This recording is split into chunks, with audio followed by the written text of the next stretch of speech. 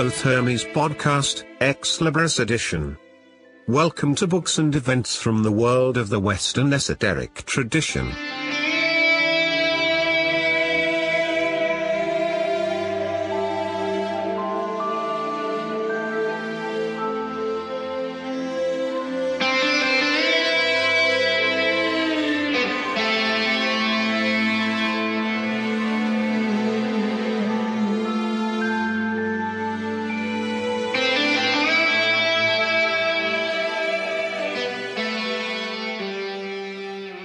Hello, friends and listeners.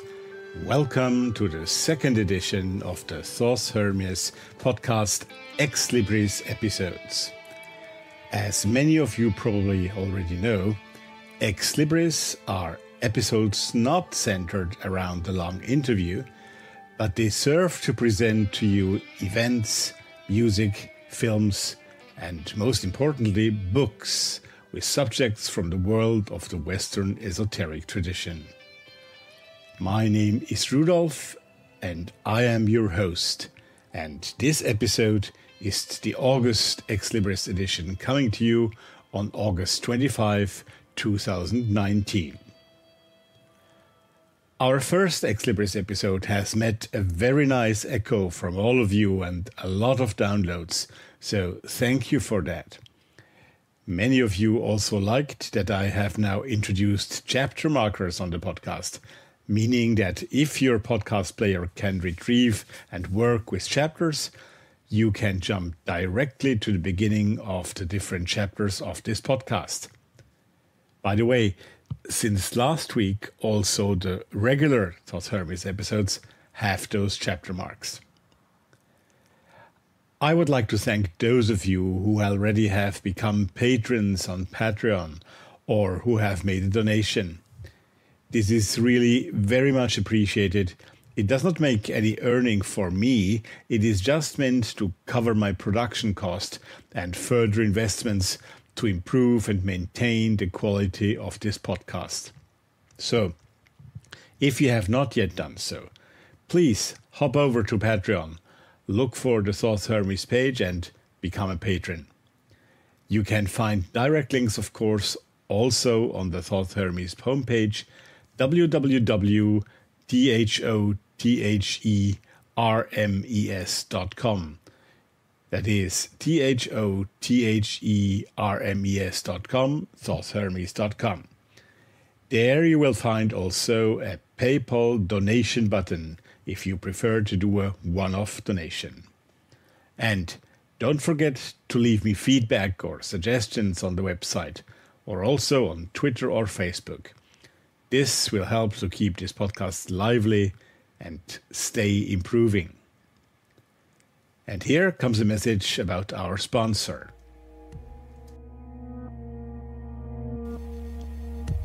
Anathema Publishing Limited Quality Occult Books and Contemporary Esoterica.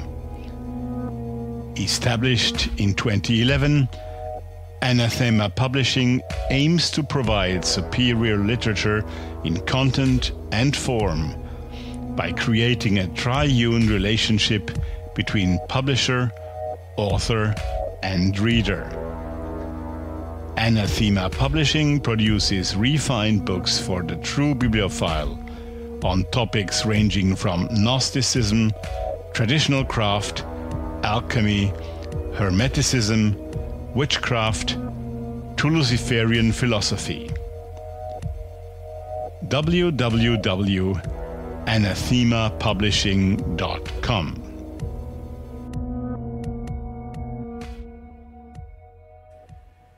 Now, let me tell you what you will get on today's episode. In chapter 1, I would like to introduce to you a book by Masonic and Hermetic scholar Martin Faulks from the United Kingdom. He has written a small but very important book called A Mosaic Palace Freemasonry and the Art of Memory, released late in 2018. We are going to hear all about it in chapter 1. Chapter 2 is the place where my friend Greg Kaminsky presents a book of his choice. Therefore, this chapter is very appropriately named Greg's Choice. This month, Greg reviews and talks about a new book by the name of The Art and Science of Initiation, where a number of highly knowledgeable scholars present their view on this subject. For chapter 3, I have invited another friend of mine to talk about a book which I think needs to be presented here.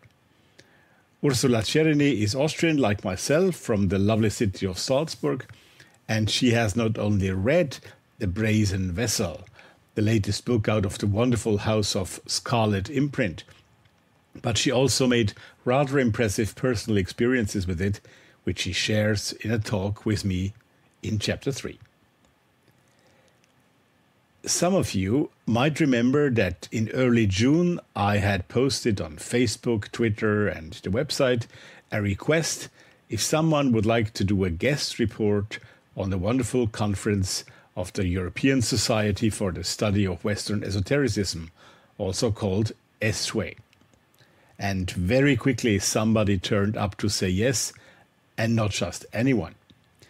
Chris Giudice academic and university teacher in Gothenburg, author and specialist on the subject of the Western esotericism, he contacted me and last week we recorded a 20 minute talk about his impressions from the conference, and this will be our chapter 4. Thanks, Chris. It was great you did that. We could have talked much longer about that conference. There was so much content in it, unbelievable. So, this is our program for episode 2. Very mixed again. And I hope everyone will find something for them. Of course, on our website, you will find all the necessary information about the books and authors we discussed today, including links to websites, where to buy the books, etc. So go to www.thothhermes.com for more on that. Also, and I want to point it out, there is a link to a PDF download of the full program and all the abstracts of the over 120 papers and talks given at the ESSWE conference. Very interesting indeed. So please go to the website, don't miss that. Now, before we delve right into chapter 1, I owe you a piece of music, don't I? Okay, here it comes. And today it's a very special one, at least to me, and I hope you'll like it too. Do you remember the Australian rock band INXS, which from the late 70s to the early 90s were a big player? Well, many of you might be too young to remember, but I'm sure you're going to enjoy what you hear.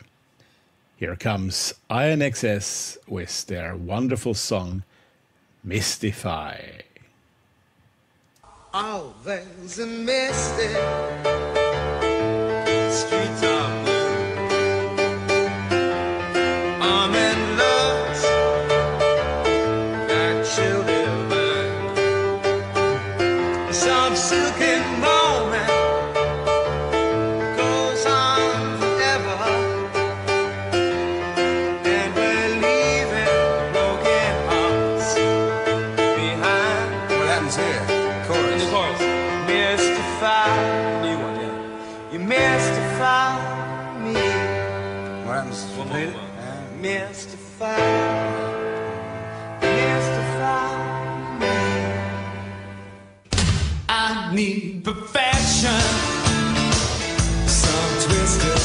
selection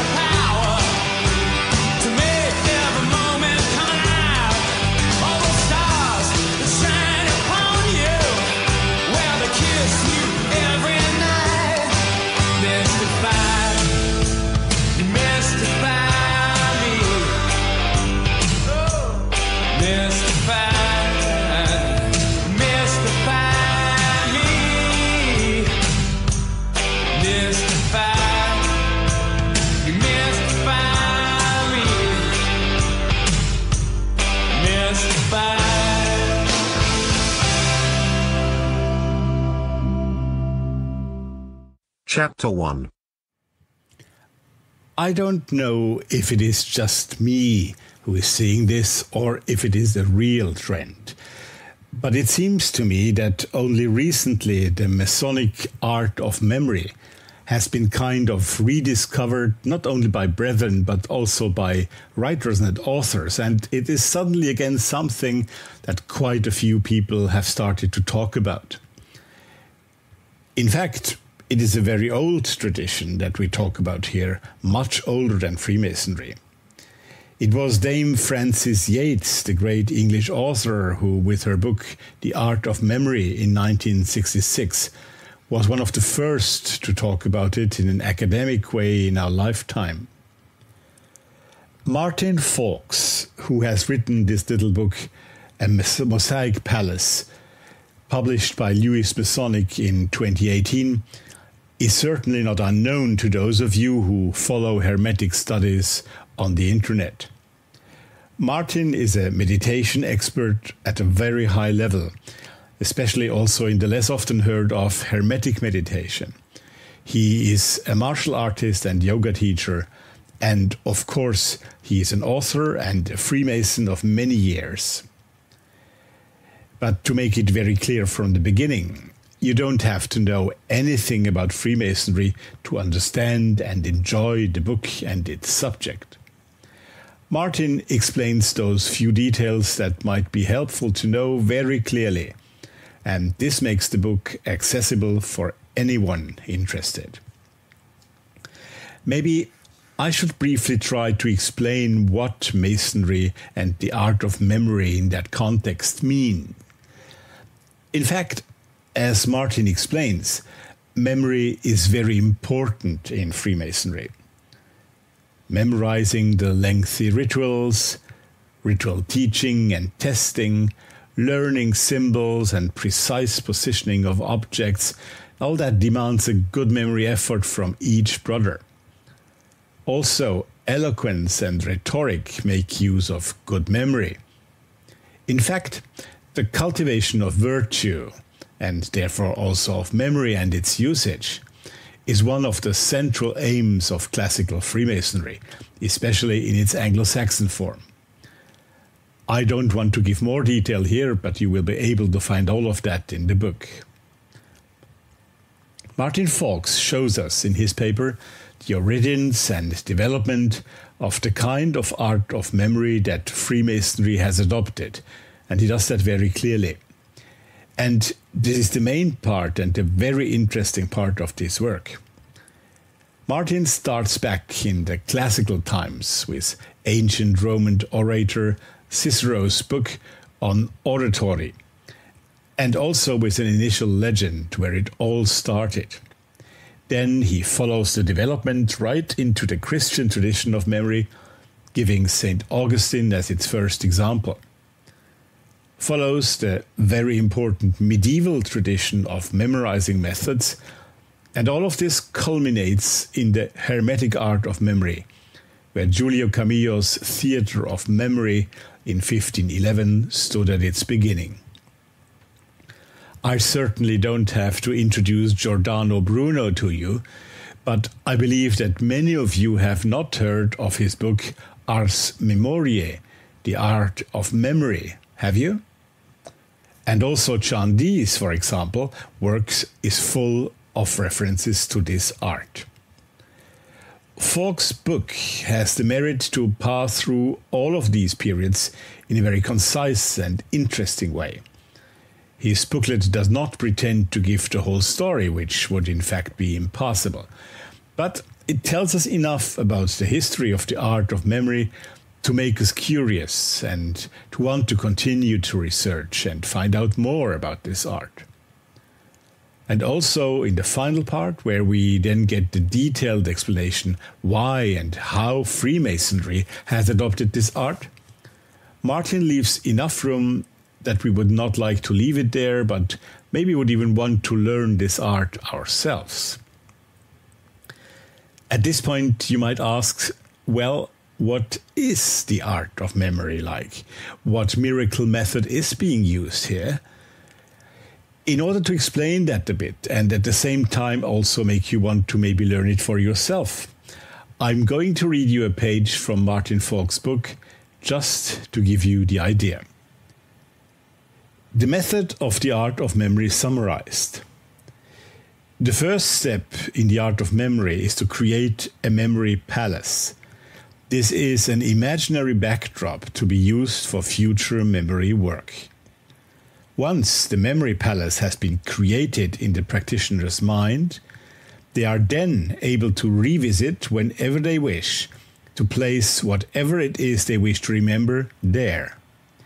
Thus, the practitioner should then be able to return to the memory palace to recall things with ease. Now, how to make a memory palace? 1. Choose a building or location which is exciting, inspiring, and small enough to easily remember. Some good examples of this would be a house, a room with many columns, a recess, an arch, or even a picture can be used. 2. Visualize walking around this place in the imagination, stopping at specific locations in turn. Each stop in this imaginary tour should have something of interest in it. A good example would be a statue, a mark, a portrait, or object that holds a strong like or dislike.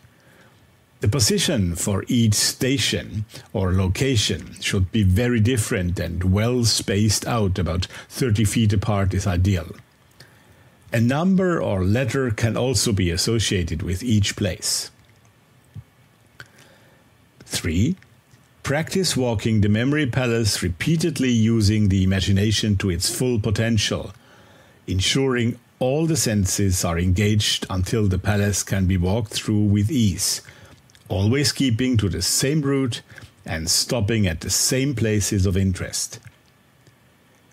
Consider this newly formed palace as a wax tablet or notebook, ready to be used to record anything that needs to be remembered this practice can also be elaborated if needed by forming different themed memory palaces to store information on specific subjects. However, it is important to make sure that each palace is distinct and very different from one another. End of citation. Well, after that, you will need to add images in the freshly created palace's rooms and place them in locations in the palace. They should be strongly emotional and easy to recall. And finally, you attach words, objects, lists, or whatever you need to remember and attach them to the images you placed in the palace. Sounds complicated? Well, at first it might, but maybe it sounds even a bit less complicated to those of you who also practice meditation or who certainly practice imagination in some magical experiences. Once you get trained in it, it actually works very well. Try it out. Get Martin Faulks' book and start from there. Reading alone will not be the thing. You will have to do your homework and not a little portion of it, believe me. As you can probably tell, I find this subject really fascinating. You might remember that I'm planning to do from time to time some roundtables, inviting three or four guests at the same time to talk about a certain subject. And the art of memory, Masonic but also Hermetic and occult in general, is going to be among the first of those subjects we are going to do roundtables about. A Mosaic Palace Freemasonry and the Art of Memory. This book by Martin Faulks, in his only 40 pages or so, is a powerhouse full of information, nicely balanced between its hermetic claim but leaving Masonry where it belongs. A nice mix of pragmatic theory and exciting practice. A perfect introduction into the matter that, depending on your interests, will either make you want to read on, in other words, that Faulks mentions, or even better, I think, want to start practicing the art of memory yourself, be you a Freemason or not. A short last note. Martin Faulks will be the guest in one of our upcoming shows later in this season, but there we will talk about his expertise on the Hermetic arts in general and meditation in particular. So do buy the book and come back to Thoth Hermes for more with Martin Faulks.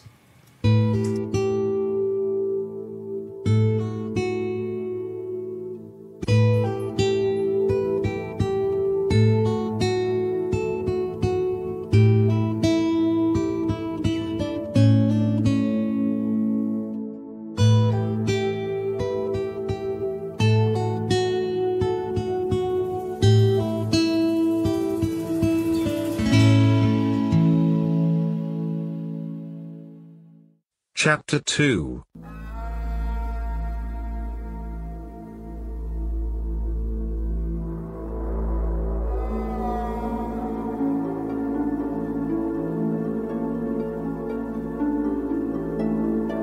Greg's Choice.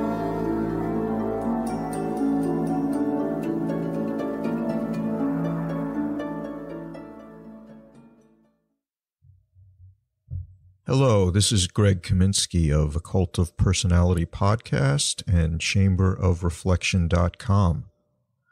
Thank you for joining me for Greg's Choice.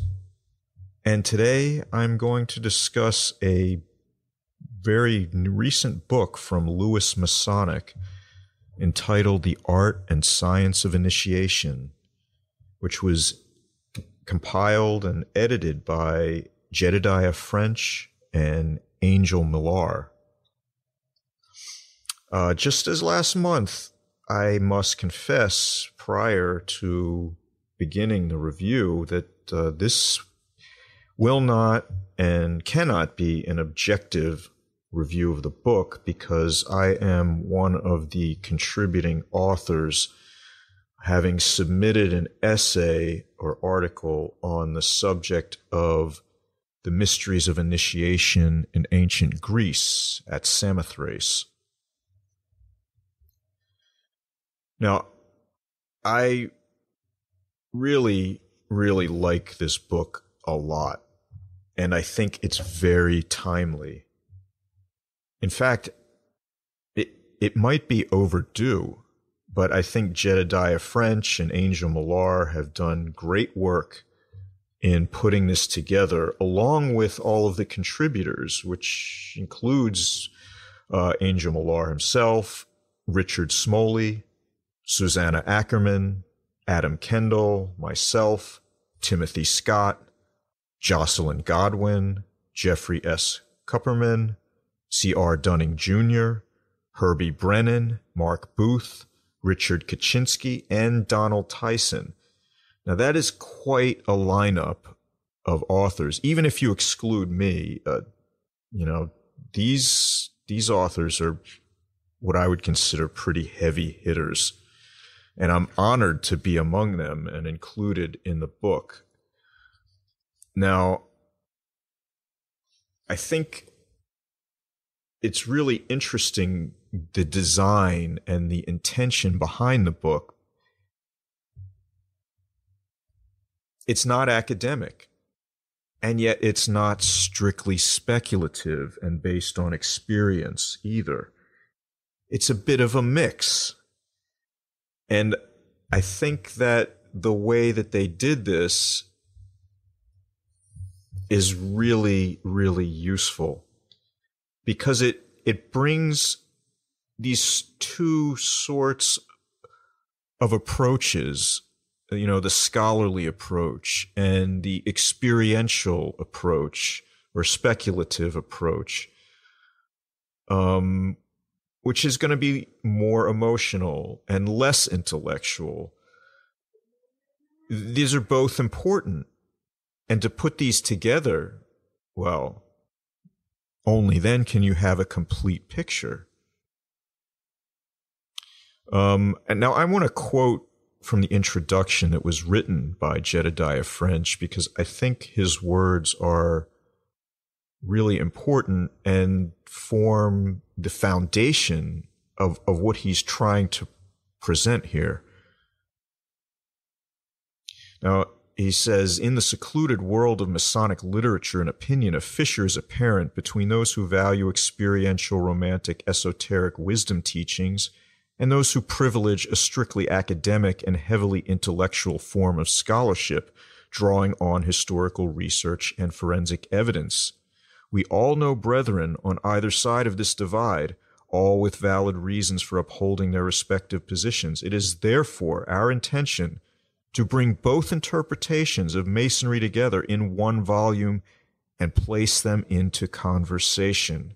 There is something gainful in this attempt, not the least of which is a broader and more complete picture of the project's subject matter, ritual initiation.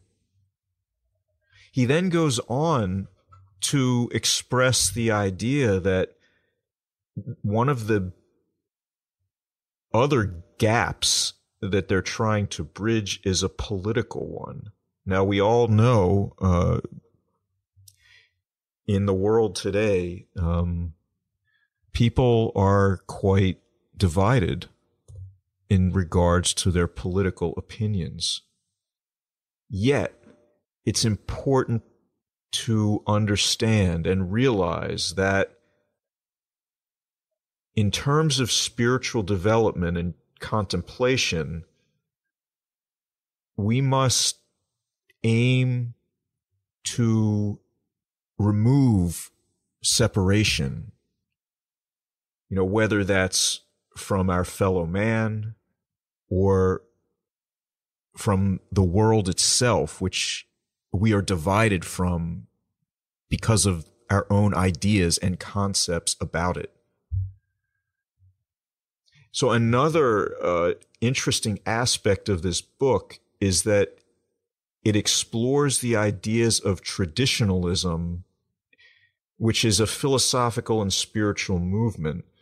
Um, and there exists, in some ways, a tension between what you could call the traditionalist school and the institution of Freemasonry. So, looking at things from a traditionalist perspective is important because it calls into question our esoteric practice, our ideas about modernity and progress, and how we can become better, how we transform ourselves, and are those processes subject to what we think of as progress or not? This is a great question. And I think I would like to quote Jedediah again in the end of his introduction because he, he really sets the tone for the book when he writes, Why create such a book? Because the world is in crisis. We feel it is the duty of Masons to assist as custodians of the societies they helped usher in through the Industrial Revolution. The duty of a Mason and the oaths he takes are no small thing. They are of the utmost importance and seriousness. The initiations the Mason undergoes should not be squandered, but rather produce real transformational change down to the roots of the soul for this reason, it is imperative that we learn to understand, harness, and enhance the Masonic initiatory rituals to their fullest capacity. Only this will bring about the type of change in being that we will need to be successful in moving forward. The greatest possible folly would be for our comprehension of these initiatory practices to decline more than it already has. It is therefore our contention that Masons should not become better men, but the best. The duty of every true Mason must be to view the entire world, regardless of race, skin tone, sex, class, or creed, as one human family, as one interconnected lodge. When economists today speak of the fourth industrial revolution, to our mind, this is where Masons should be especially active as the workforce and foundational infrastructure of our societies yield to advanced technologies and robotics. Masons must make sure this new industry does not lose sight of the spiritual implications of this massive change and help guide these technologies toward the spiritual well being and betterment of everyone on the planet. As the operative masons who built the cathedral strove to fashion base matter into spiritual harmony for the good of the souls of local people, so should modern masons strive for the same in advanced technology, turning the scientific and engineering laboratories again into sacred spaces and altars dedicated to the spiritual upliftment of all. Well, that is a great and noble intention in my mind. Now, again, I, I, there's too much material in this book for me to really commentate, comment on all of it. Um, but I, I'd like to leave you with a, a little taste of my own article in the book about the initiations of Samothrace in ancient Greece.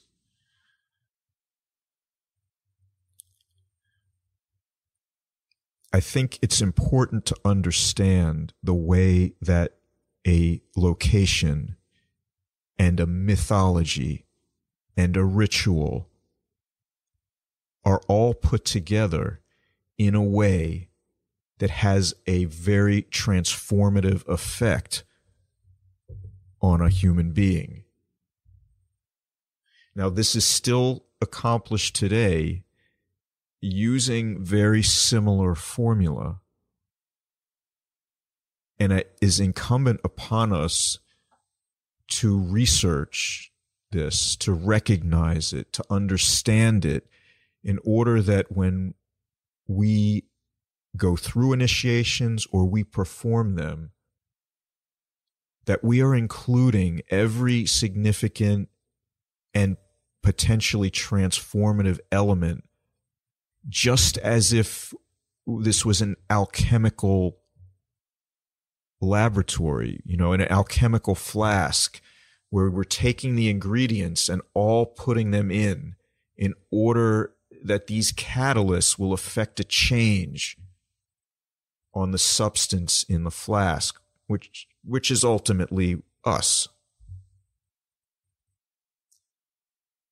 I really cannot stress enough that the way the initiation functions, all of the ingredients that go into it are so important and in many ways can determine how effective the potential outcome may be.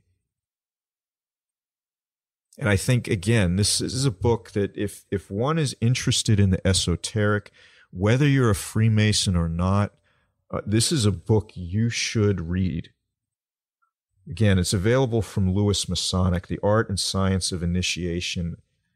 I'm so excited that it's come out, and I'm really thrilled with the level of scholarship, research, writing, the way it's all expressed, all for the highest purpose. There is something in this book for just about everyone. If you are interested in these subjects, I don't think I could recommend this book highly enough. Jedediah French and Angel Millar have really done a tremendous job, and I commend Lewis Masonic for supporting their vision and bringing this forward so that we all may benefit.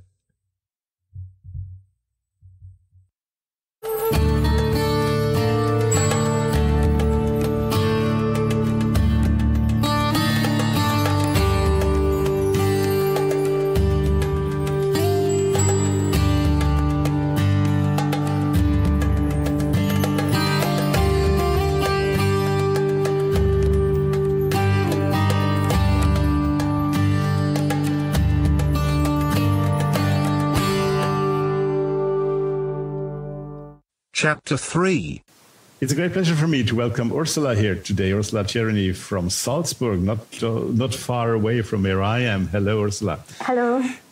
And you, uh, it's a pleasure for us that you will talk to us about a book on Ex Libris, a book that has been quite talked about in the occult circles of the last few months, also because it's been uh, an issue by Scarlet Imprint and by their by their uh, makers, so to speak, Peter Grey and Alkistis, and it's called The Brazen Vessel. And you have read it for us, and you're going to tell us uh, about that book uh, what was special for you, what you thought about it. Well, I'll leave you the stage.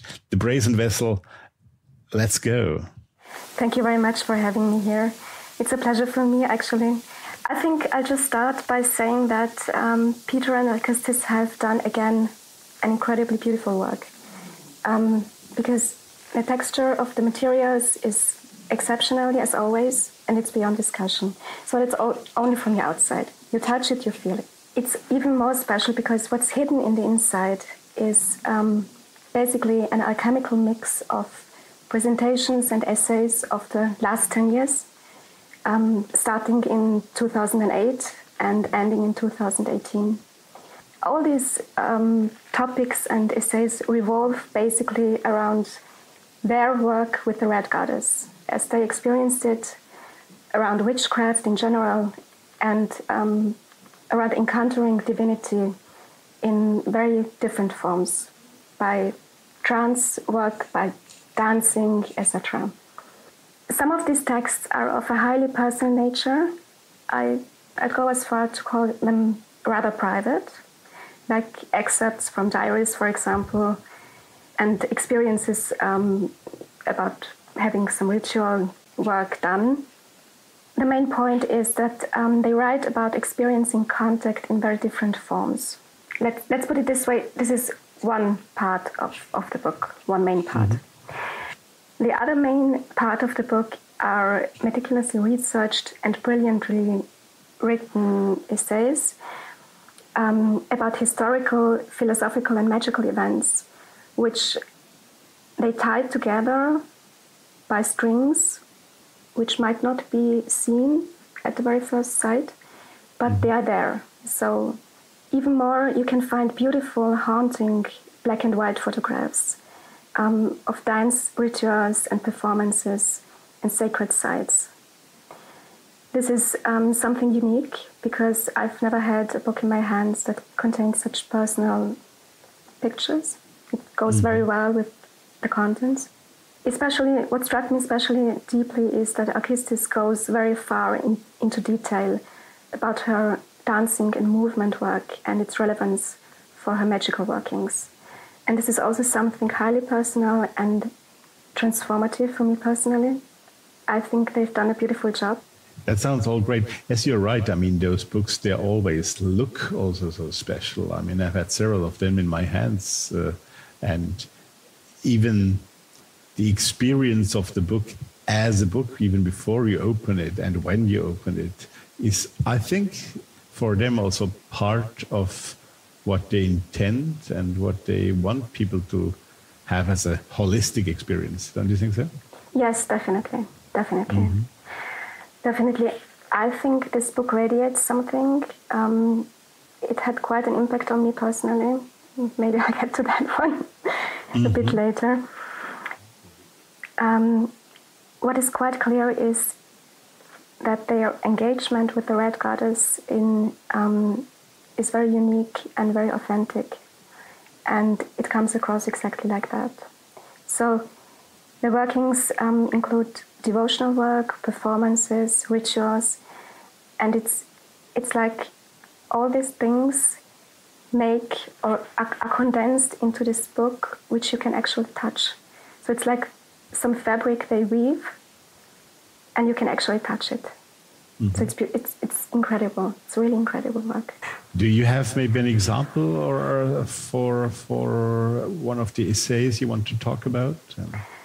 Actually, the last the last one is I don't know if they see if, if they have a hierarchy of, of um, the relevance of all these essays. I think all of them are relevant, but the last one is, is something special. Um, it's actually titled My Time Is Come, and it's from 2018, joint presentation at the Occulture Conference in Berlin. And um, in this essay, they basically they take us on a journey um, exploring different concepts of time. Mm-hmm. That's the first introduction. So then um, it's very densely written.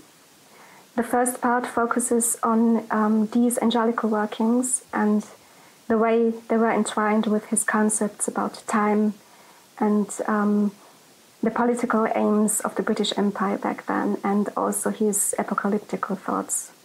So it's quite an interesting material. Um, it's presented there.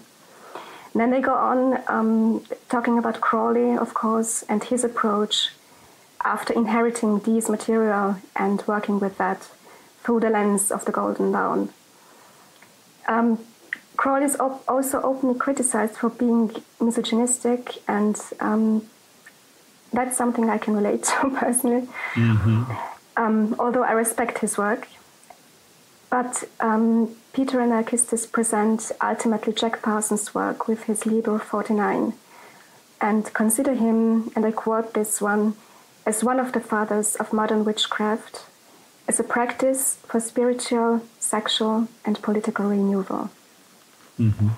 And this is something that rings a bell with me and touches me deeply because I can really agree with that. And um, whatever his fate was, he he was for me definitely one of the um, one of the magicians I I really regard one of the greatest as one of the greatest. Mm-hmm. Right. So this is the first part of this last essay.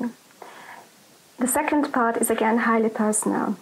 It's split up into four parts, four subparts, called um, titled Incarnation, Presence, Coming, and Love.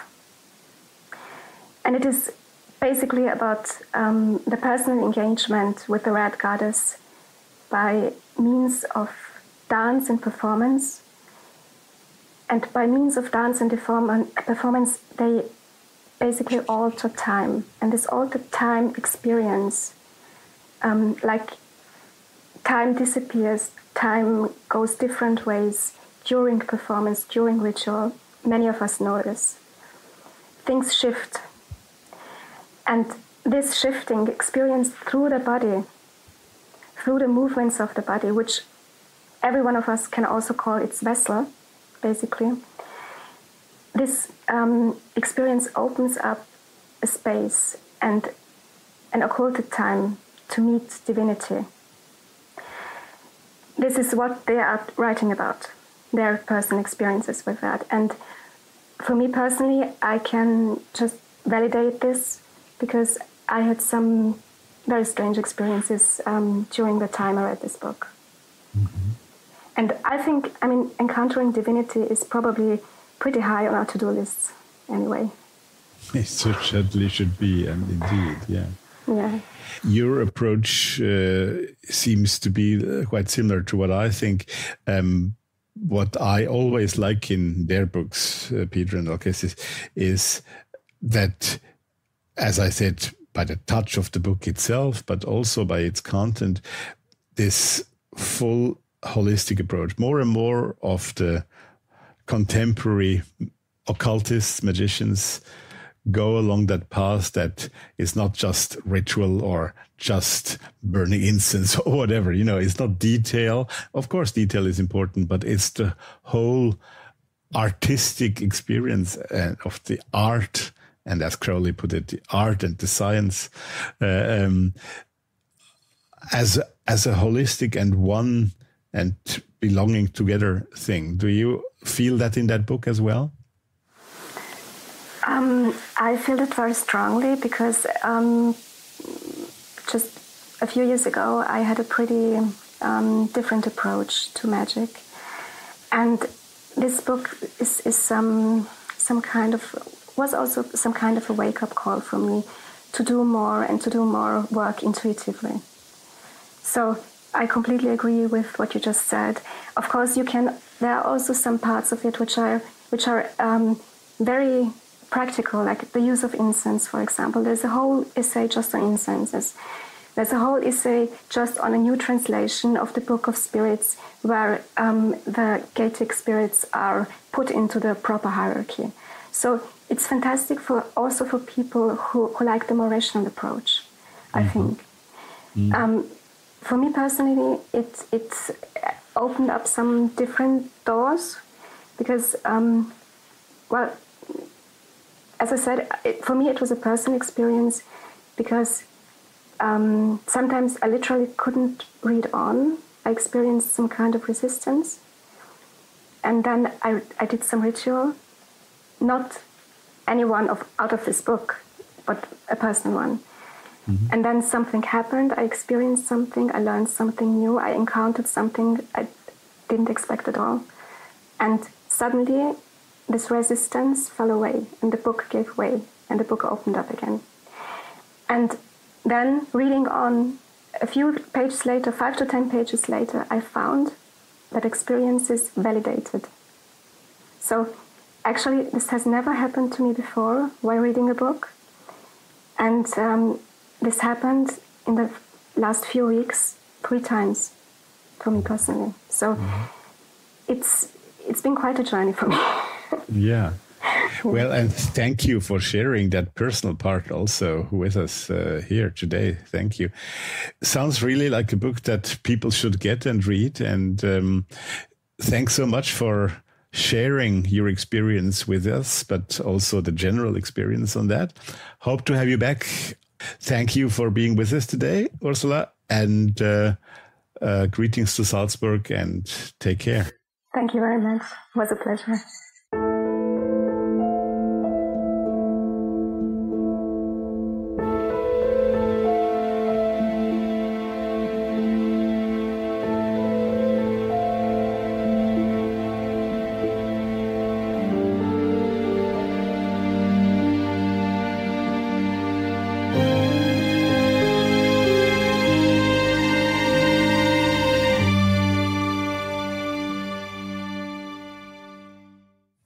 Chapter 4 it is a great pleasure for me to welcome here on the Thoth Hermes Ex Libris episode, um, Chris Giudice. Chris, good evening to London from good evening. here in Vienna. Good evening, Rudolf. Thank you for having me.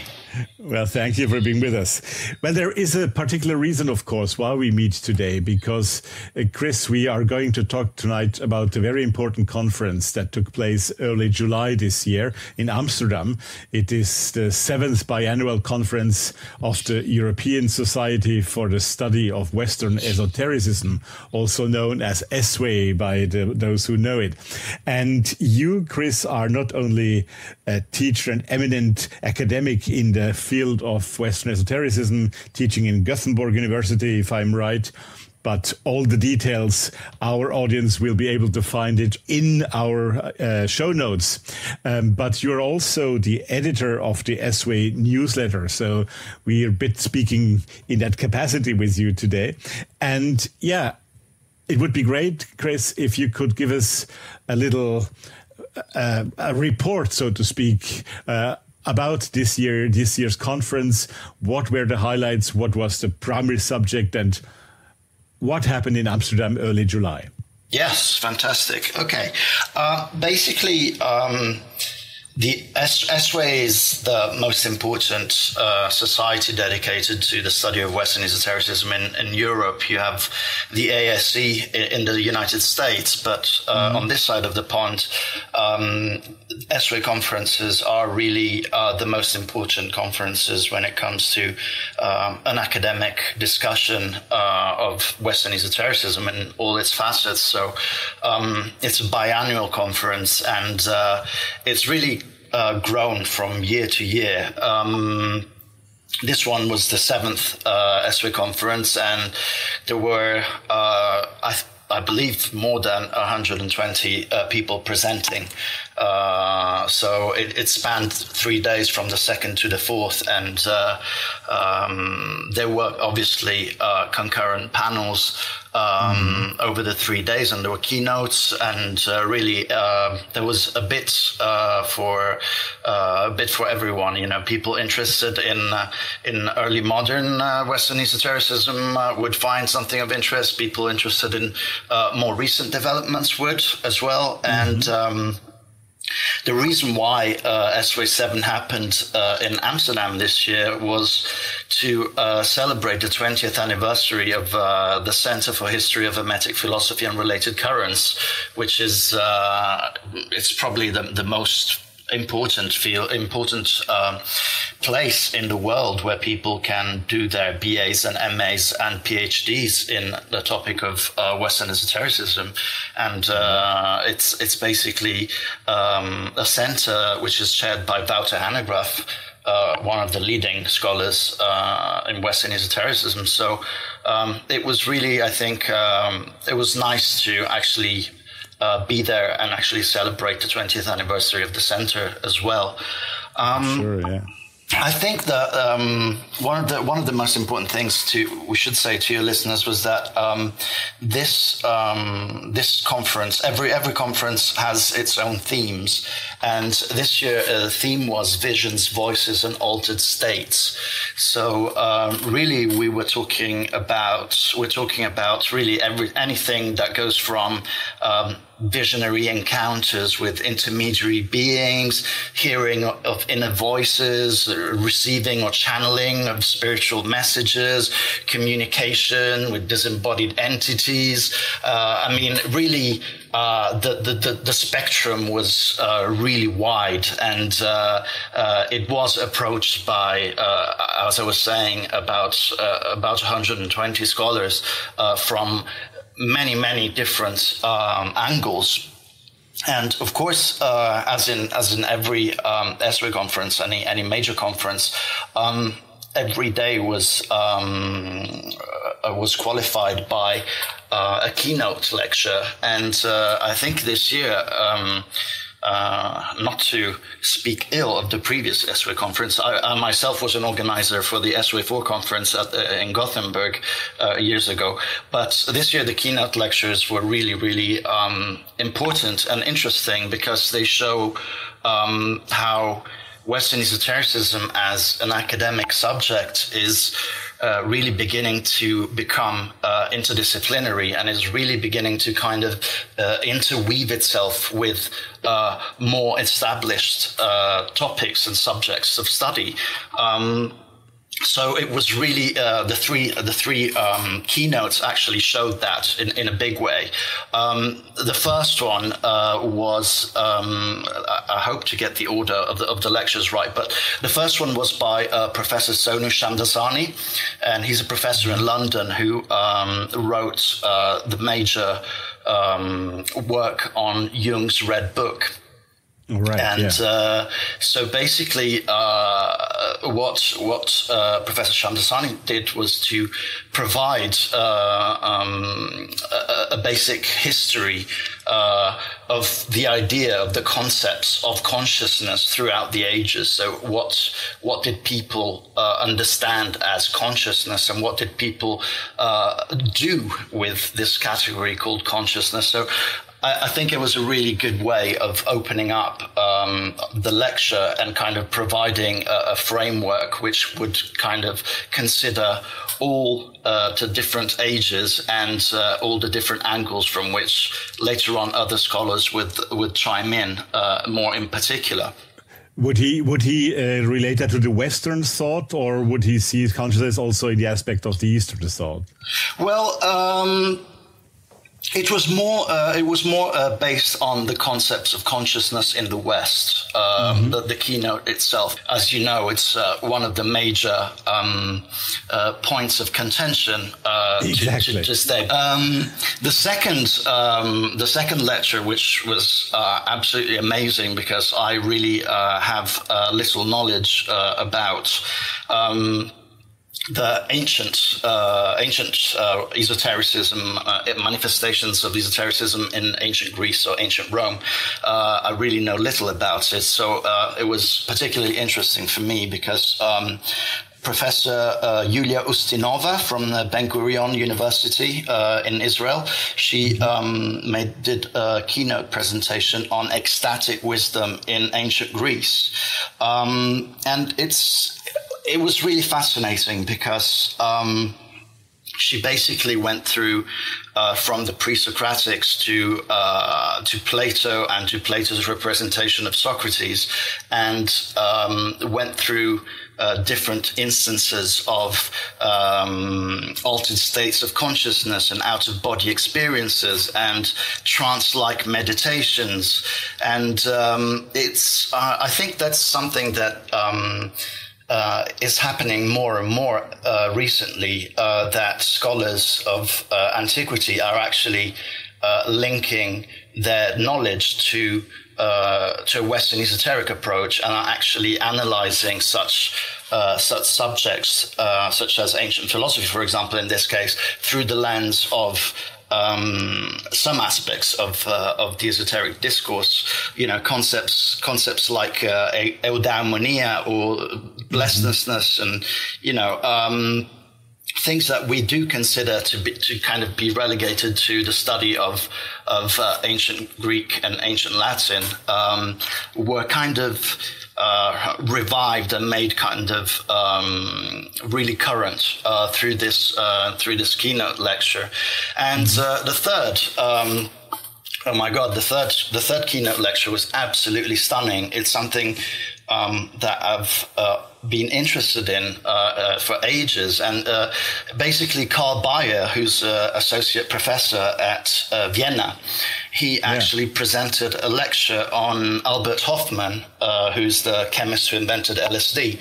And mm-hmm. um, his immediate circle of friends and uh, it's uh, pretty interesting to notice that um, he focused on um, a group of friends of his which came from um, a traditionalist background and came from uh, the um, the cultural milieu of the conservative revolution. So it's the last right. people that you would expect uh, to uh, be involved in, uh, you know, partaking of LSD and hanging out with uh, uh, with Dr. Hofmann. Um, uh, it's it's it was really. I mean, um, I think it's I think what he presented was um, um kind of his findings up to now, and it's kind of a work in progress, which will come out uh, later on in, in, in, book form. But I'm really looking forward to it because uh, we're not only talking about uh, traditionalist uh, people, people who uh, would have a kind of Eliade uh, religionist view, um, mm-hmm. you know, and but also uh, people who were deeply influenced by romantic naturphilosophy um, and and sympathized with like the occult arts, you know, magic, alchemy, astrology, and uh, for me, like the, the the moment of epiphany was when when Bayer actually showed the slide of. Um, of um, Hofmann with uh, Ernst Junger and uh, sitting together, you know, and it's like, okay, this is uh, really, really strange bedfellows, you know, all in one picture. you know, it's, uh, yeah. you really would not expect that to happen. So uh, it really was, um, I mean, at least for me, it's something that I had never uh, looked into, and I really wasn't expecting to have been actually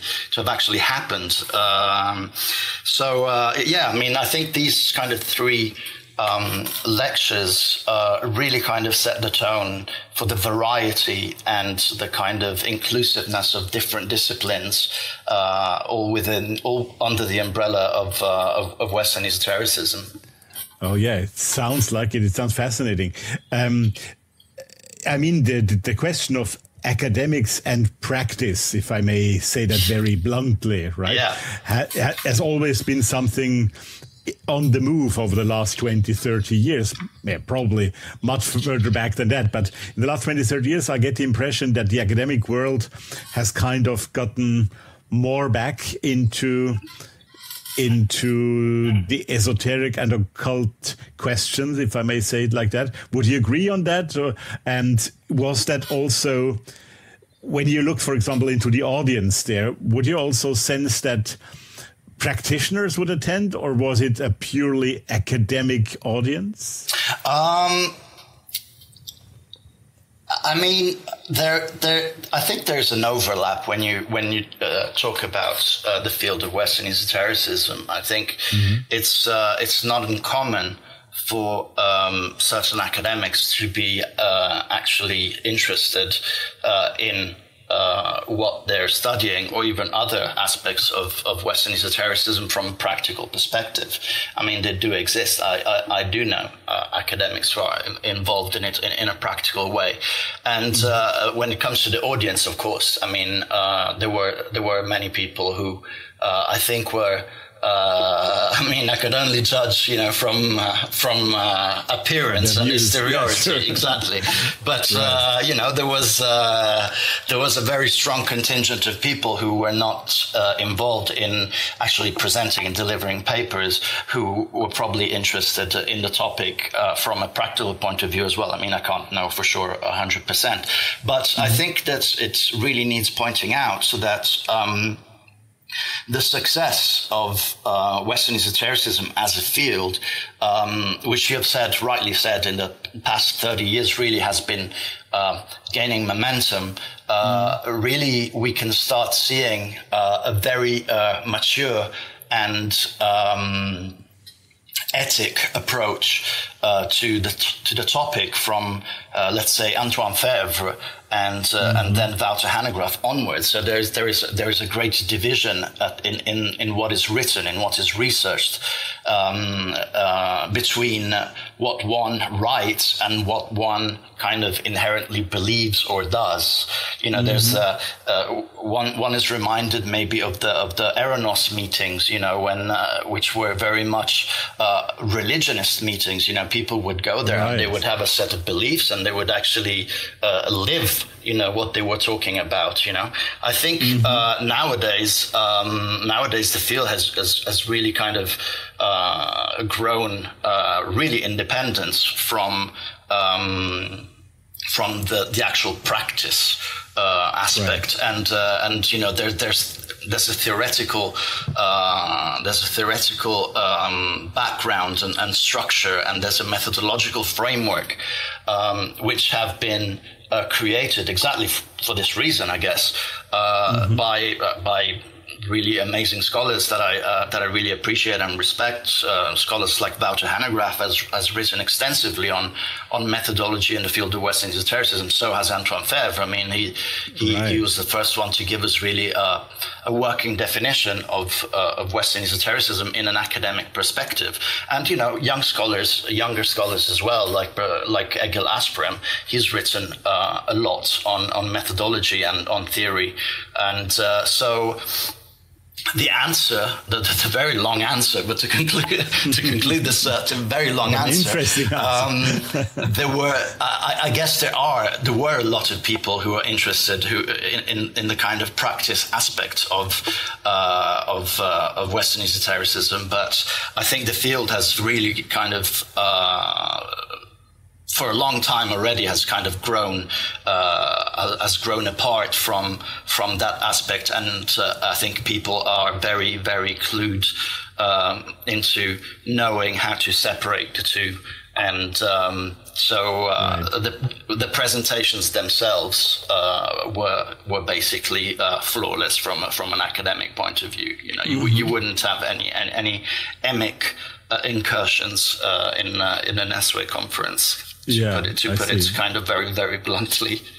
Yeah, yeah, sure, sure. Um, I see. I mean, there were a huge number of breakout sessions then over the three days.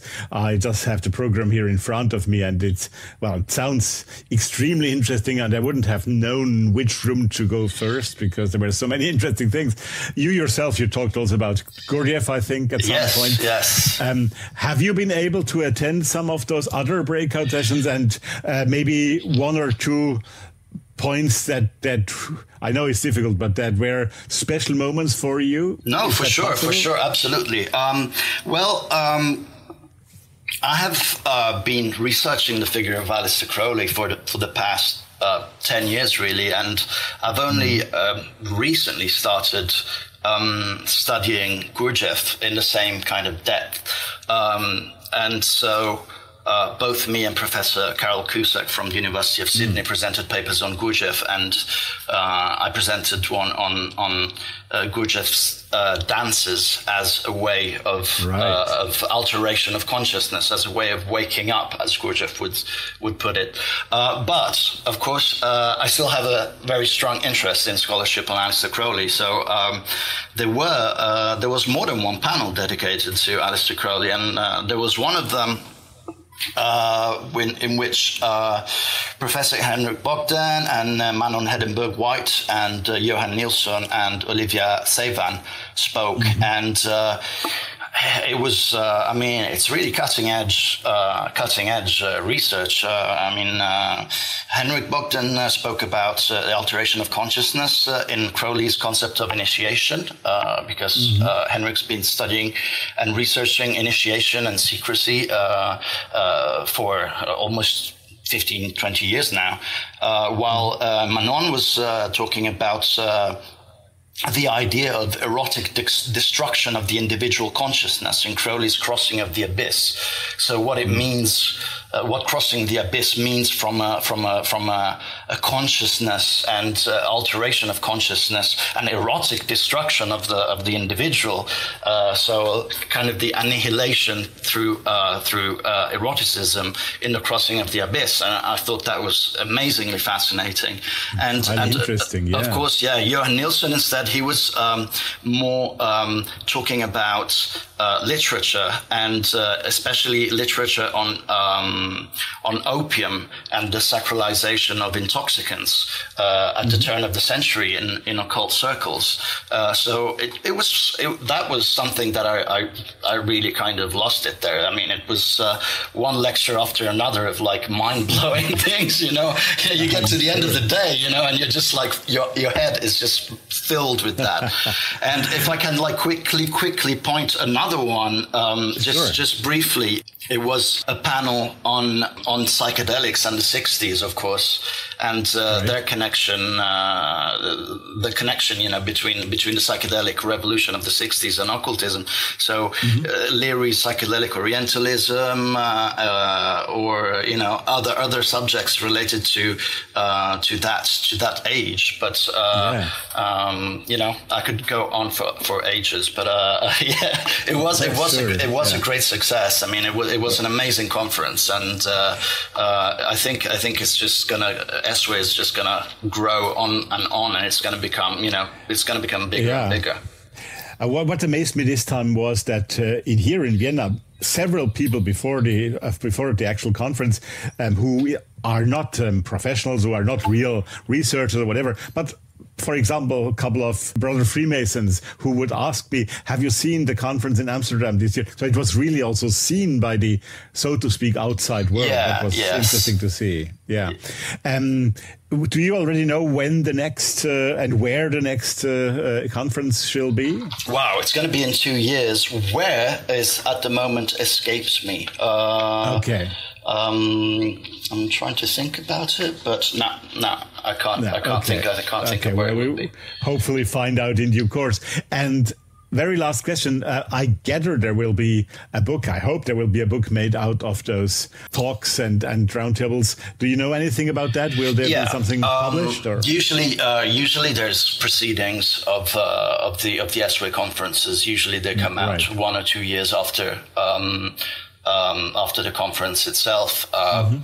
it, I mean, it's uh, you can imagine it's it's a very long process of choosing, you know, 10 or, oh, yeah. you know, 12 uh, presentations sure. that will go in the proceedings. So uh, I think I think it usually it usually takes a couple of years, but there there, there definitely will be uh, a volume coming yeah. out. Yes, absolutely, yeah, well, absolutely. And also maybe. for every participant at the uh, at the ESSWE uh, conference this year, there was uh, actually a book which summed up the history of of the center in Amsterdam. So mm-hmm. and so the lucky ones who, who actually got to go to Amsterdam got a free volume with uh, with yeah. some amazing scholarship celebrating the 20, 20 years of uh, of uh, the Amsterdam Center, which I, which I think was really cool.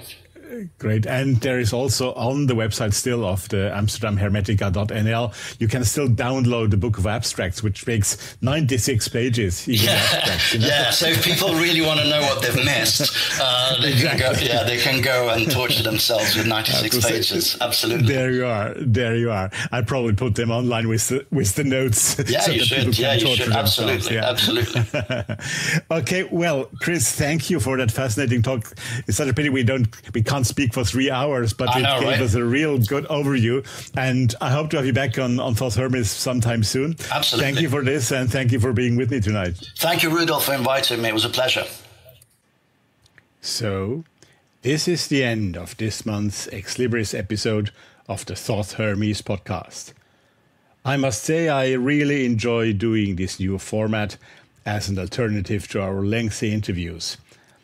As I said already at the end of the first Ex Libris show, it so beautifully allows to point out how diverse our world of the Western tradition is. And it gives me and also you the opportunity to have a glimpse of very different aspects within just a bit over an hour. And also inviting guest hosts and specialists for certain subjects that makes the show more interesting, I think. I hope you like this just as I do.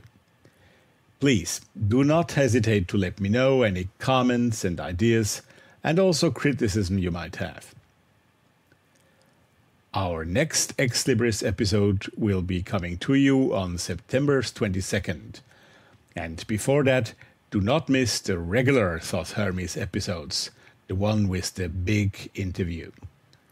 Next week, our guests in episode 7 will be alchemist and hermeticist Rubaphilos Salfluere from New Zealand, and that will certainly be very interesting. Thanks for listening. And if there are episodes from the past that you have not yet listened to, you can find them all on the website, on Apple Podcast, and on all the major podcast outlets. And now, also all previous and of course all new episodes also on YouTube audio only, of course. For now, I can only say take care, stay tuned, hear you soon.